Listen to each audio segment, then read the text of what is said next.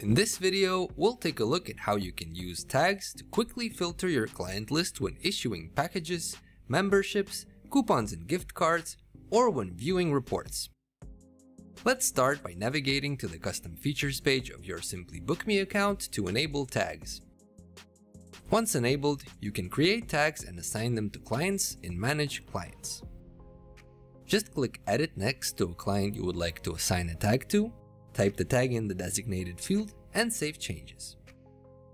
You can add multiple tags by pressing Tab, space, or adding a comma, and you can remove tags by clicking the X. Click on a tag or choose it from the drop-down menu and click Apply to view clients with this tag. You can now use these tags to filter client lists when issuing packages, memberships, coupons, or gift cards. Simply open the filter, type in the tag or choose it from the list, and apply it. Use the checkbox at the top of the list to choose all of the displayed clients with this tag.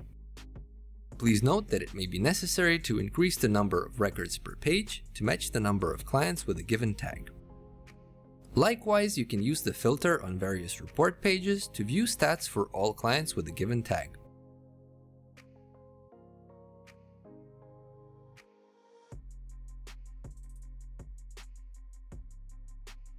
Lastly, back in custom features tags, you can choose which tags are set as default. These will automatically be assigned to all new clients. Click the eye icon to view clients with a given tag back in Manage Clients. Clone a tag to create a new tag that will be assigned to the same clients as its parent. Edit a tag to change its name and color.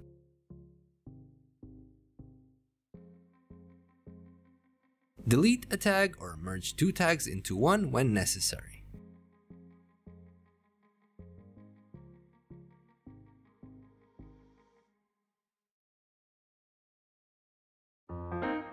If you found this video helpful, you can subscribe to our YouTube channel as well as follow our social media pages below. Thank you for choosing SimplyBook.me.